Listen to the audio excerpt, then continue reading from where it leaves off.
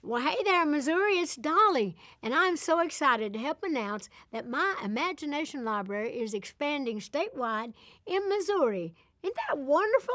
And I'm thrilled that we'll be working with Governor Mike Parson and the Department of Education's Office of Childhood to expand the Imagination Library to every young child across the state.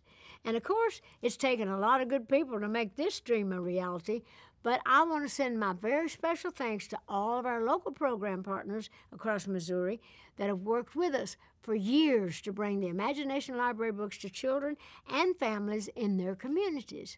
Oh, we got a lot of work to do, so keep checking back to see if a program is starting in your area soon. Congratulations, Missouri, and happy reading!